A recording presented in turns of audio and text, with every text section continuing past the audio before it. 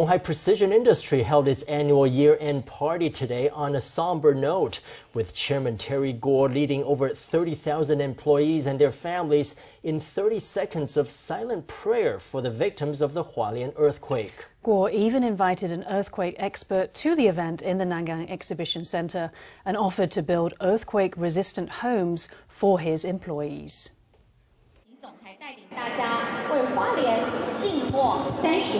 At Hon Hai's year end party, Chairman Terry Gou took to the stage and led his employees and their families to pray for Hualien in a moment of silence. On the night when the Hualien earthquake occurred, aside from thinking about donating money, I also wondered why we can't use big data and artificial intelligence to predict earthquakes earlier. The Hualien earthquake affected Gou very much. He also brought along Kuo Kai-wen, a former director of the Central Weather Bureau's Seismology Centre, to teach the crowd about earthquakes. Before the 921 earthquake, Taiwan experienced a peaceful period of 40 years. So there is probably accumulated energy of about 200 or 300 atomic bombs in Taiwan's faults.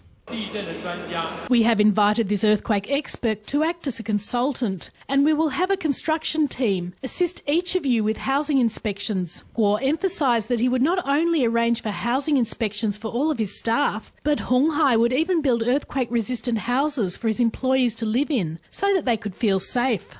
The group's operating goals are to move towards the industrial Internet of Things, big data and artificial intelligence. We will have an extremely onerous workload in the next three years. Hon Hai's consolidated revenue for this month at 400.6 billion NT dollars was down 40.66% on the previous month in a five-month low. However, Gou confidently declared that in the new year his group would actively transform itself and upgrade.